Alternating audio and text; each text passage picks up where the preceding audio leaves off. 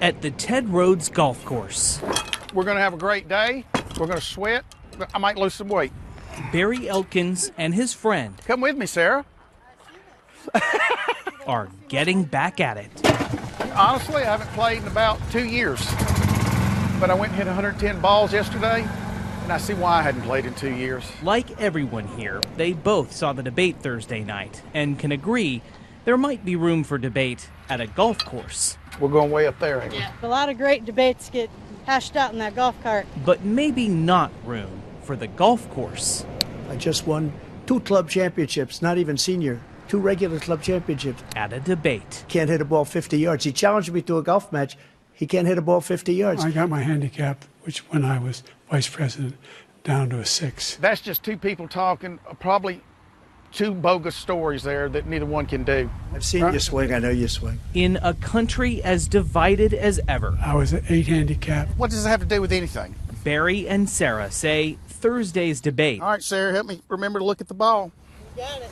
provided for a moment of ironic unity. For the first time, it's just funny to see everybody agreeing that this was so horrendous to watch that uh, we can all just kind of laugh together, and we Yeah. haven't done that in a really long time. And hope it don't happen again. Again. My question was, what do you say to those voters? What do you say to black voters? The who question was, what are you going to do to help Americans in the throes of addiction right now? I- It, it would be refreshing if both answered the questions that they ask. Golf can bring a lot of people together.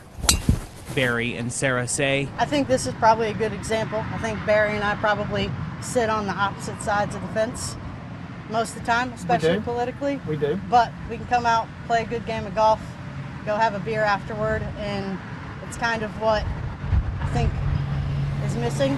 But when it comes to figuring out who should lead the free world, they say maybe the golf talk should be left to the amateurs. Sarah did tell me when I first met her years ago, Barry, you may hear me curse profusely. and I said, that's okay. Jason Lamb, News Channel 5.